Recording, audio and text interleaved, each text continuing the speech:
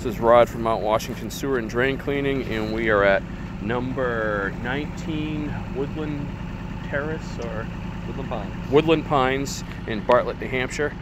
Uh, we got two units connected into one septic tank, and we're going to be going up number 19 towards the house.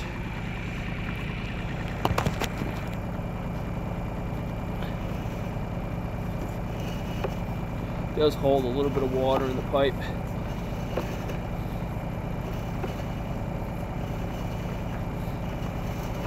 We had the steam open this pipe. It's frozen solid.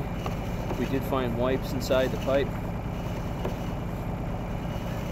So we are heading towards the building from the outside at an excavated hole.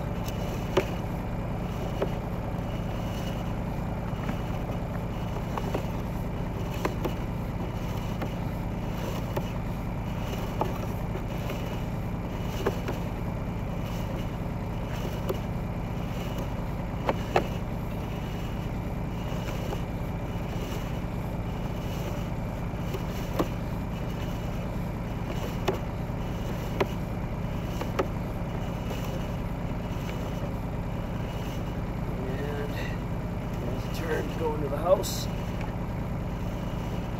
And we're looking at a clean out cap located somewhere inside the house, roughly 41 feet from where I'm accessing the outside. So we're gonna pull back.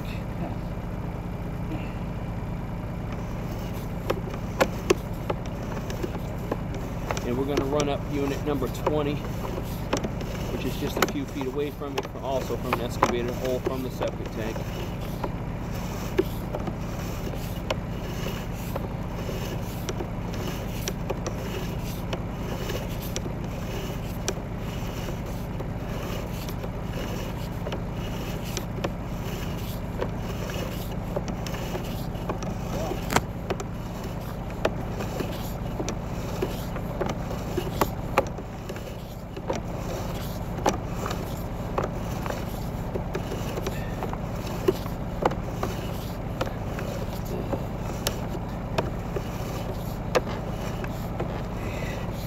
Back out.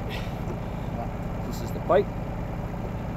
That's unit number 19. And right here, stick this right in there because it's about a foot before she drops into the tank. So we can see that major root mass which is growing in the corner of the tank. Somehow access has to be inside the tank in order to cut those major roots out. They are right here on the corner of this tank and I'm going to pull this over and go from the access over here.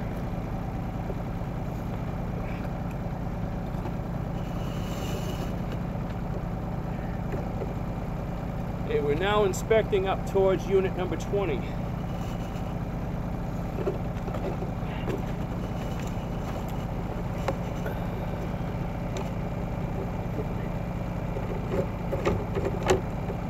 Hitting something there? Nice enough hole right there. Turn. There it is. There you go. That's clear. It was setting overnight. Yeah, looks like maybe some ice right there. Right yeah, there. Gonna steam this guy out too.